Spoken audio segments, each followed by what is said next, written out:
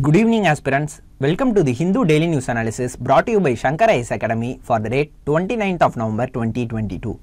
The articles taken up for today's discussion are displayed here. Interested aspirants can go through it.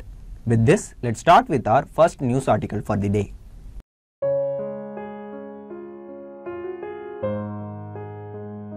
Take a look at this editorial. This editorial is about a recent petition which was filed in the Supreme Court which argued that non recognition of same sex marriage amounted to discrimination. In the petition, the petitioners mentioned about the Special Marriage Act 1954.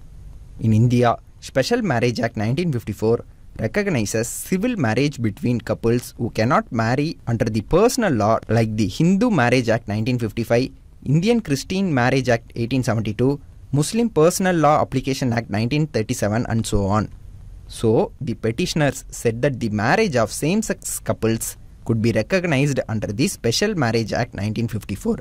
On November 25, the Supreme Court asked for the government's response in regards to allowing recognition of same sex marriage under the Special Marriage Act 1954. Based on this context only, this editorial has been written. The second article also argues for the recognition of same sex marriages by citing precedent from various countries across the world. The second article is taken from the text and context page. It actually appeared on June 19, 2021 in the Hindu newspaper. Since this article is relevant today, the Hindu has republished this article. This is a basic introduction about these two articles which are given here. So, in this context, we will discuss in detail the various points mentioned in these two articles. I have highlighted the syllabus here for your reference. You can go through it. Firstly, let us start with section 377 of the Indian Penal Code. See, section 377 of the IPC was a relic of the colonial British government. This section criminalized people who voluntarily had carnal intercourse or sodomy against the order of nature with any man, woman, or animal. So basically, this section criminalized even the private consensual sex between adults of same sex. The validity of this section was questioned in the Supreme Court.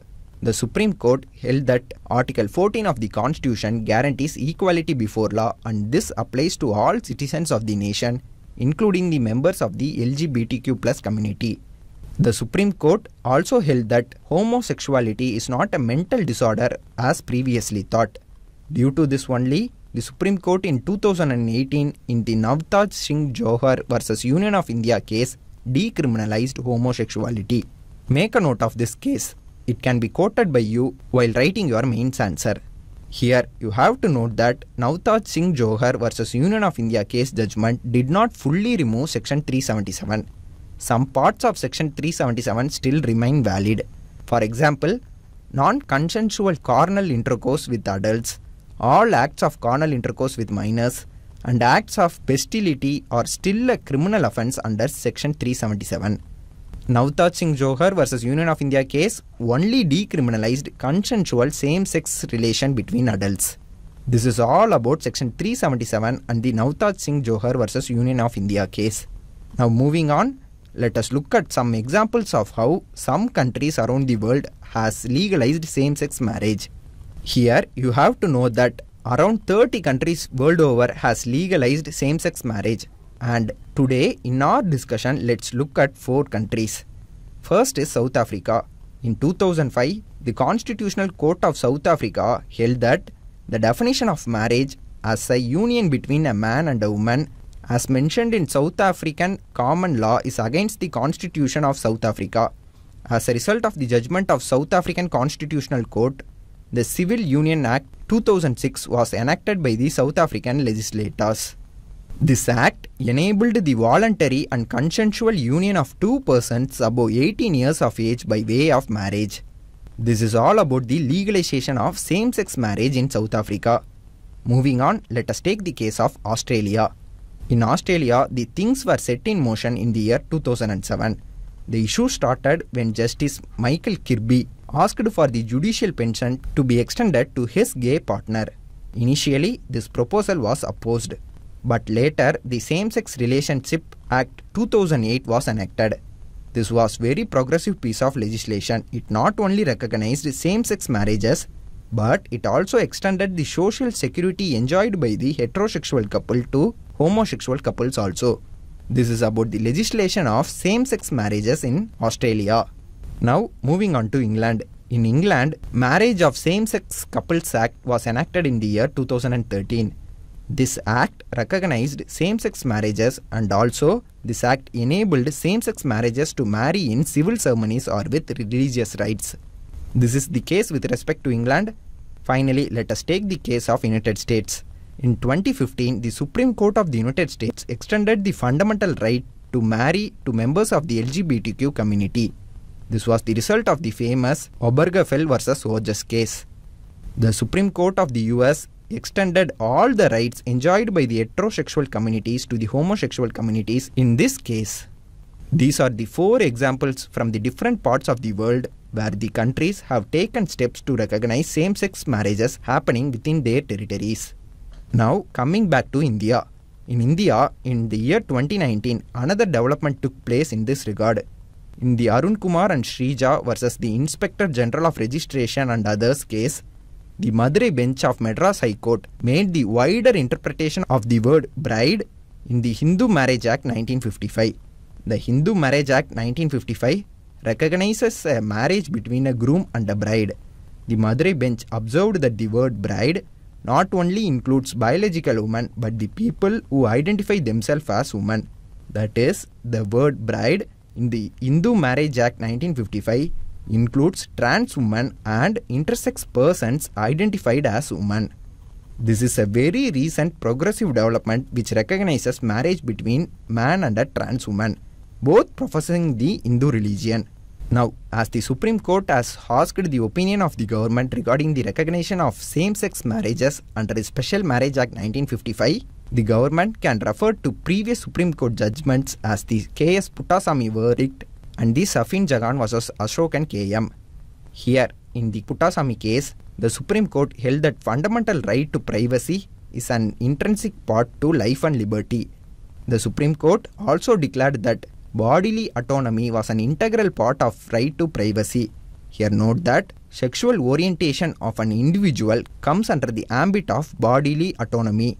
So basically a person's sexual orientation is his fundamental right protected under right to privacy guaranteed under Article 21 of the Indian Constitution. Next comes the Shafin Jahan versus Asokan KM. In this case, the Supreme Court held that right to choose and marry a partner is a constitutional right of every individual. Also, the Supreme Court mentioned that the society has no role to play in determining a person's choice of partners. So, if the government bases its response to the Supreme Court based on the progressive Supreme Court judgments like the two mentioned here, it will help the LGBTQ plus community in India greatly. Now, coming to the conclusion part. Let us hypothetically consider that our government allows for the recognition of same-sex marriages under the Special Marriage Act 1954 in the coming days. Although this would be a significant step in legalizing the same-sex marriages, it would only be of smaller help for the same-sex couples. This is because providing legal protection is one thing, but changing the social mindset of the community is another. For example, in India, we have Prohibition of Employment as Manual Scavengers under Rehabilitation Act 2013. Although this piece of legislation prohibits manual scavenging, still in India we face deaths due to manual scavenging. Likewise, we enacted Scheduled Caste and Scheduled Tribes Prevention of Atrocities Act 1989. But still in remote corners, peoples of SC and ST are facing atrocities. The point that I am trying to make here is that on one hand, the government must take legal changes for the protection of rights of members of LGBTQ plus community and on the other hand, the government must also take steps to change the conservative mindset of the Indian population. This is because only a social change can prevent the stigmatization, humiliation faced by the members of the LGBTQ plus community. This is all with respect to this discussion. In this discussion, we saw about the legality of same-sex marriages in India and also we saw about the condition of same-sex marriages legality in four different countries around the world. And finally, we saw about the two case laws relating to a person's ability to choose his sexual partners in India. With this information, now let's move on to the next news article discussion. Take a look at this article. This article talks about the export of low quality iron ore from India to China. Here note that in May this year our government placed a 50% export duty on iron ore exports from India to slow down the increase in iron ore price within India. But now as the iron ore price in India has normalized, our government removed the 50% export duty. Due to this recent development, steel makers from China are planning to buy cheap low grade iron ore from India. This is about the news article given here. In this context, let us see about the different types of iron ore. See, iron is a metallic mineral.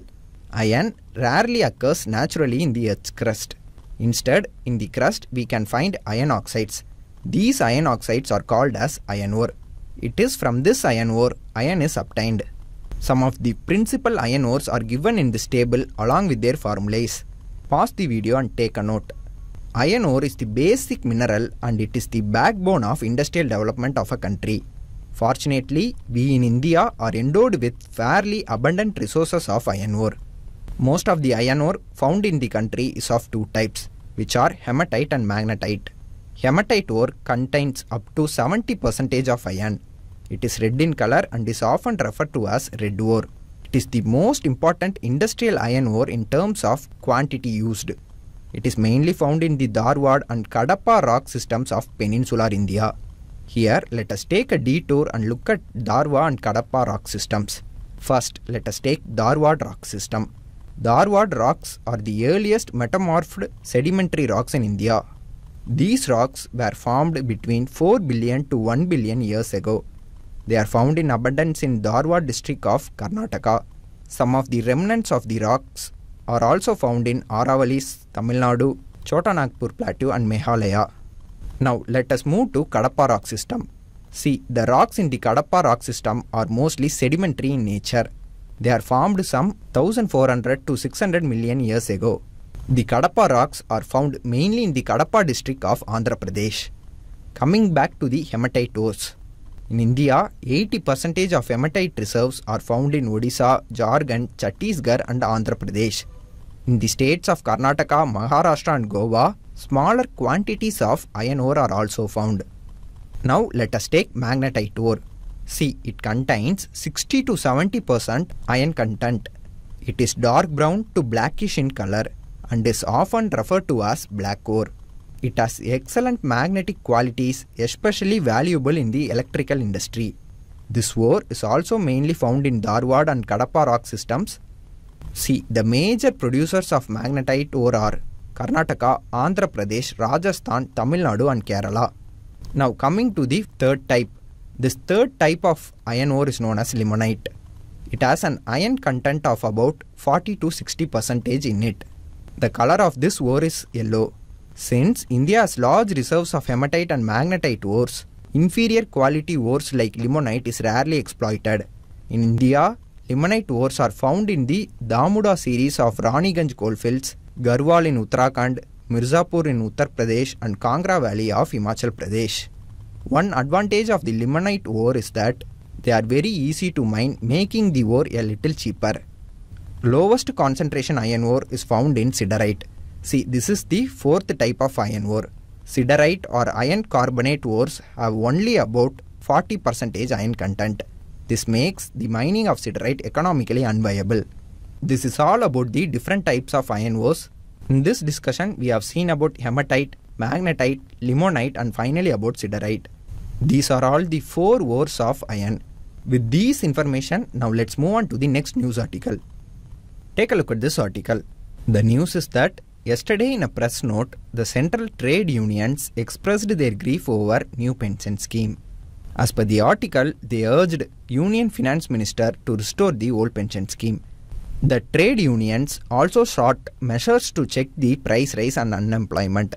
This is the crux of the news article given here. In this context, let's learn about new pension scheme and why the trade unions are opposing this new pension scheme. See, NPS was started in the year 2004 as a social security measure to all government employees. Then in the year 2009, the scheme was made open to all citizens. Here know that it is now being regulated by both the Pension Fund Regulatory and Development Authority and the central government. Now let's see who can join NPS. Any employee from public, private and even the unorganized sectors can join in the new pension scheme. Here note one important fact. The armed forces personnel are exempted and they are still covered under the old pension scheme. Now coming to the eligibility criteria for opening an NPS account. A person who intends to open NPS account should be an Indian citizen and must be between the ages of 18 and 65. Then the person should also be KYC compliant and must not have any pre-existing NPS account. See, the eligibility criteria for opening an NPS account is made so easy so that every citizen present in India can make use of this opportunity. This is all about the new pension scheme. Now coming to the question why the central trade unions are opposing the new pension scheme. To know the answer for this question, we have to understand why firstly government brought the new pension scheme and replaced the old pension scheme. Under the old pension scheme, the employees get a pension under a predetermined formula. Here the pension is half of their last drawn salary. Under the old scheme, the payout pension is fixed so that they receive this amount till their death. So, if an employee is retiring at the age of 60 and having a lifespan of nearly 80 years or more, they have to be paid pension for over two decades after their retirement. Moreover, in the event of death of the pensioner, their spouses are also entitled for a portion of the pension under the old pension scheme. This has led to a massive pension burden on government and such liabilities impact the fiscal health of both the union and state governments. This is the exact reason why old pension scheme was discontinued in the year 2003 and the new pension scheme was started in 2004. Now coming back to the question why the central trade unions are opposing the new pension scheme. See, unlike old pension scheme, in the new pension scheme, the employees are required to deposit 10% of their basic pay of their salary in their NPS account. The government will contribute 10% to its employees' NPS account. The pension fund collected will then be given to the pension fund managers with the consent of the NPS account holder. Then the pension fund managers will invest this amount in different market instruments like stocks, mutual funds, government bonds, etc. This mechanism will provide the return as the pension to the NPS account holder after his or her retirement. The trade unions protest saying that the pension amount now is market linked and return based, thus making it uncertain for the employees which under the old scheme was certain. In the old scheme, the pension amount was guaranteed by the government and it was not linked to the market conditions. So, this is one of the main reasons why the trade unions are protesting. The second major reason is that pension under this scheme will be far less to the government employees when compared with the old scheme. As I said earlier, the government employees contribute only 10% of their basic pay to the fund while the other 10% is contributed by the government itself. This cumulative account will not be able to fetch a sum which was paid to the previous government employees which was nearly equal to their 50% of last drawn salary. So this is the second major reason why the trade unions are protesting against the new pension scheme. These are the two major reasons why old pension scheme is preferred over the new pension scheme by the trade unions. With this we have come to the end of this discussion. Through this discussion we saw about the new pension scheme and also about the reasons why trade unions are protesting against it. With these information, now let's move on to the next news article discussion. Have a look at this news article. The news is that yesterday the Special Investigation Court of the National Investigation Agency in Delhi has awarded life imprisonment to five terrorists affiliated with the Jaish-e-Mohammed. See, Jaish-e-Mohammed is a terrorist organization based out of Jammu and Kashmir. The terrorists were punished for recruiting and training youth for terror activities across the country. This is the crux of the news article given here. In this context, let's learn about National Investigation Agency. See, the National Investigation Agency is the counter-terrorism law enforcement agency of India. It functions under the Ministry of Home Affairs and the headquarters of the agency is located in New Delhi. Here note that NIA was first constituted in the year 2008 under the National Investigation Agency Act. It was created in the backdrop of 2008 Mumbai terror attacks.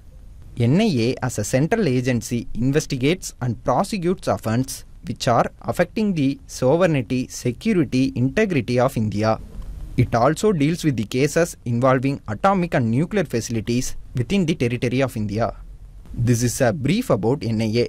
Now let's see about the jurisdiction of NIA. See, the jurisdiction extends to the whole of India and it also applies to the Indian citizens outside the country. NIA has also the jurisdiction over the persons who are in the service of the government wherever they are posted. It also extends to the persons on ships and aircrafts which are registered in India.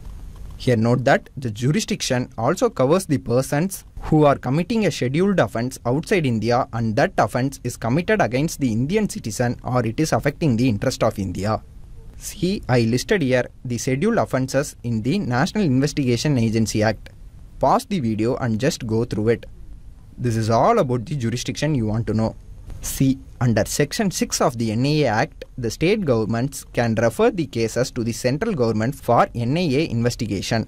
After assessing the details made by the state governments, the central government can direct the NIA to take over the case. In this scenario, the state governments are required to extend all assistance to the NIA. This is one situation. The recent Coimbatore and Mangalore bomb blast were given to NIA by the respective state governments itself. There is also another situation. In this scenario, the central government may direct the NIA to take up the probe without the need for state government's approval. When can this be done? See, it is done when the central government is of the opinion that a scheduled offence has been committed which requires the investigation of NIA within the territory of the state concerned. So, from this we can say that state government's permission is not needed for NIA to take up a case which has been committed inside the state's territory. But the point here is that the committed offence should be a scheduled offence under the NIA Act 2008. Also know that the central government can also direct the NIA to register the case and take up the investigation when a scheduled offence has been committed at any place outside India. This is all about the jurisdiction of NIA. In this discussion, we have covered many points relating to the National Investigation Agency. With these learned points, now let's move on to the next news article. Take a look at this article. It says that Meghalaya government will set up border outposts in the sensitive areas along the interstate borders with Assam. This decision was taken after an all-party meeting which was held in Shillong. See, these steps were taken following the firing which took place at Mukroh on November 22nd. This is the crux of the news article given here.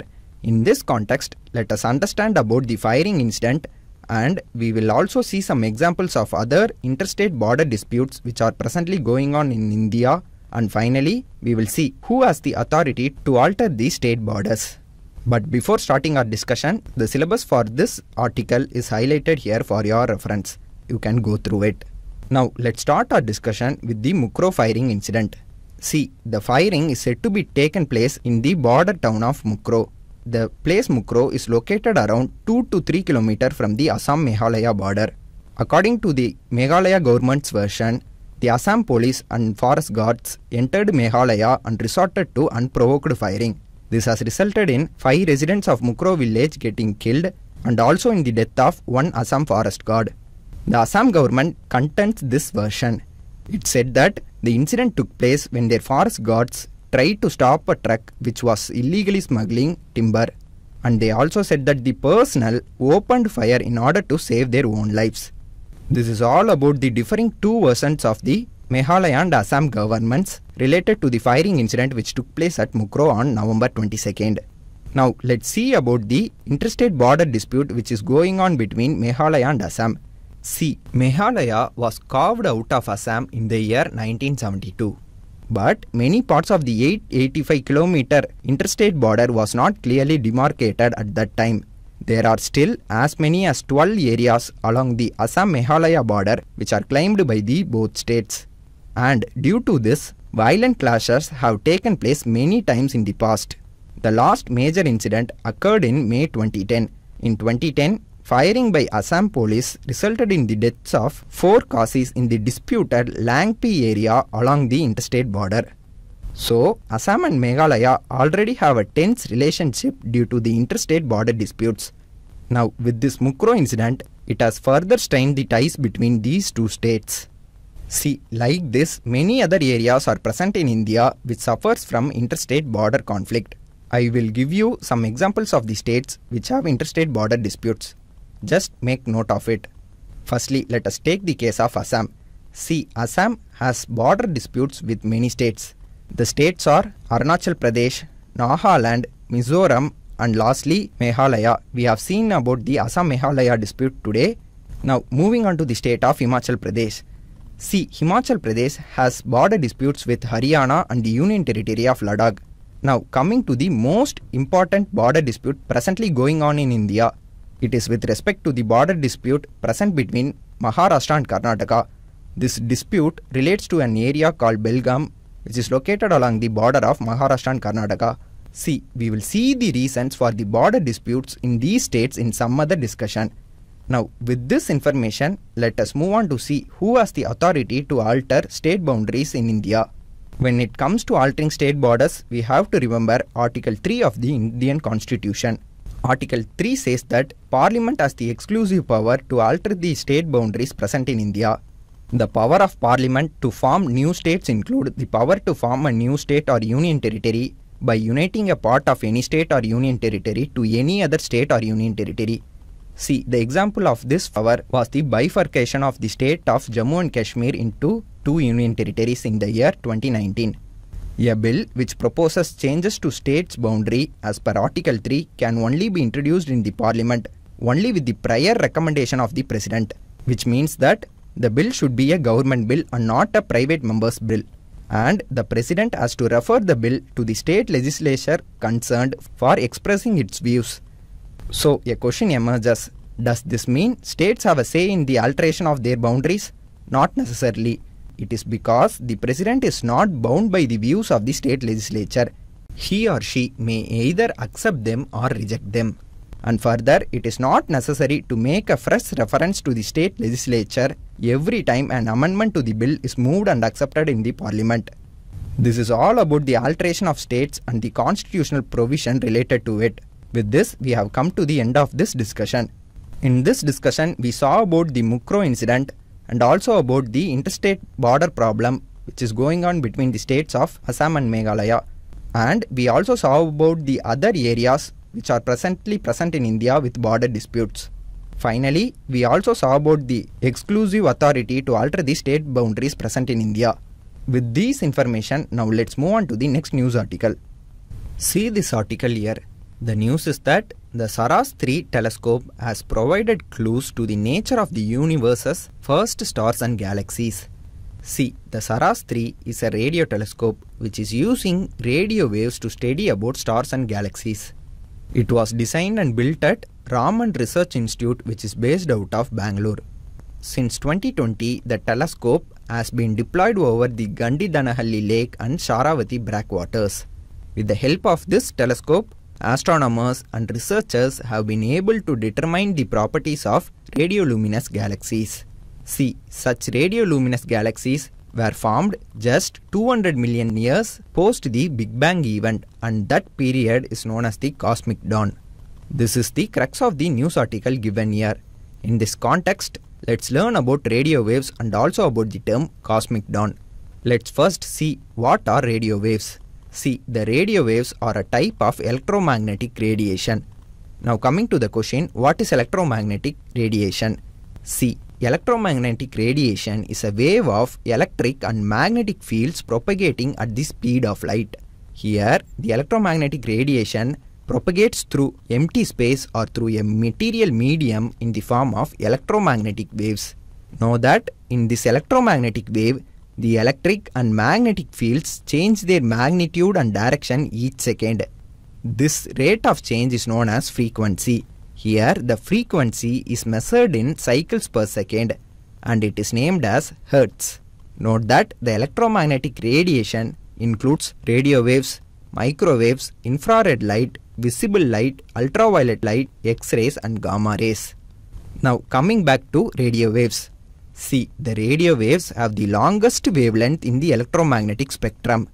These waves were discovered by Heinrich Hertz in the late 1880s. As we all know, the radio waves are a kind of electromagnetic radiation. Know that the radio waves have a frequency of about 3 kHz up to 300 GHz. At 3 kHz, the wavelength of radio waves is nearly 100 km and at 300 GHz, their wavelength is 1 millimeter. What this means to us? See, if a wavelength is shorter, then the frequency of radio waves is higher and if the wavelength is longer, then the frequency of radio waves is lower. Like all other electromagnetic waves, the radio waves also travel at the speed of light. Know that lightning and astronomical objects are the natural source of radio waves. Radio waves can also be artificially formed and such artificially formed radio waves are used in the fields of radio communication, radar, computer networks, broadcasting and different navigation systems. This is all you want to know about radio waves. Now let's move our attention towards the term cosmic dawn. We all know that our universe has undergone different phases from its beginning. See, the Big Bang event created our universe. Know that the term Big Bang literally means the cosmic explosion that marked the beginning of the universe according to the Big Bang theory. During the first 4 lakh years after the Big Bang, the universe was filled only with hot and dense ionized plasma. Here know that Plasma is the word that is given to the fourth state of matter. Plasma is an electrically charged gas that is so hot. Note that some or all constituent atoms of plasma are split up into electrons and ions which can move independently of each other. Now coming back, we initially saw during the first 4 lakh years after the Big Bang, the universe was filled with hot and dense ionized plasma. Then after these 4 lakh years of Big Bang event, the plasma cooled down and it produced protons and electrons. And these protons and electrons filled the universe. Then the protons and electrons combined and remained as neutral hydrogen atoms. This period is known as dark ages. In this period, the universe had no source of visible light. Then roughly 100 to 200 million years after the Big Bang event, the first stars and galaxies were formed.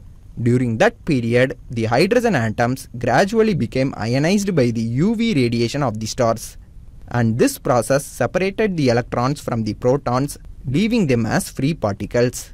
This made the stars and galaxies to illuminate. This era in which the stars and galaxies started to illuminate is known as the cosmic dawn. The SARAS 3, which we saw earlier in our discussion, which catches the radio wave is providing clues to the nature of the universe, first stars and galaxies which formed during this period of the cosmic dawn. This is all about the article given here. In this discussion, we saw about SARAS 3, also about radio waves and also about the term cosmic dawn. With these information, now let's move on to the next news article discussion. Take a look at this editorial article. It talks about the loss and damage fund and the practical problems associated with it. This is the essence of the article written here. To understand what's written in the article, we have to first understand the difference between loss and damage fund and the other climate financing funds like Green Climate Fund. In this discussion, we will see about loss and damage fund and also about the issues facing it as given in the article. See, there are globally two different funds related to climate change. One is the climate financing funds like Green Climate Fund and the other is the newly created loss and damage fund. Firstly, we will see about climate financing funds. See, the term climate finance refers to the local, national or transnational financing drawn from both public and private that seeks to support mitigation and adaptation actions that will address climate change. See, climate financing is mainly focused on the two pillars of mitigation and adaptation strategies. Here note that climate financing so far has only focused on cutting carbon dioxide emissions in an effort to curb global warming. Here, one third of the climate funding till now has gone towards projects to help communities adapt to future impacts of climate change. The point here to note that is climate financing or funding till now didn't pay for any damages caused due to climate change induced disasters to the vulnerable countries. This is all about climate financing funds. Now coming to loss and damage fund. See, loss and damage funding would be different from climate financing because it specifically covers the cost of damage that countries cannot avoid or adapt to. Here, let me tell you an example to make you understand about this fund. If you can recall, there was a flood in Pakistan a few months back. It resulted in huge economic loss to the country. If this flood is found to be happened because of climate change, loss and climate fund will come into action. Pakistan government will receive funds from this fund to restore its economy which was affected by the flooding. See, this is the major difference between loss and damage funding and the climate financing funding. Now coming to the one common thing between these two funds. Both these funds will get funding from the developed countries and will distribute the funding to the developing nations. But the difference lies in the fact that climate financing only focuses on adaptation measures and doesn't pay the countries for the damages which are caused due to climate change disasters. This is all you need to know about the differences between climate financing and loss and damage fund. The article primarily discusses about the history of loss and damage fund and the planned mechanism for the newly proposed fund. Now let's see briefly about the history of loss and damage fund. See, the Alliance for Small Island States has been asking for this fund for nearly past three decades. The issue was first brought to the forefront in the 1990s itself. At the time, the developed countries didn't accept this idea of loss and damage fund and cast away this idea. After nearly three decades of prolonged negotiations, finally the loss and damage fund was accepted in COP27 which got recently concluded in Egypt.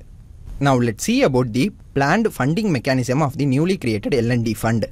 The author says that the fund would draw upon potential sources like that of a windfall tax on oil and gas companies' profits.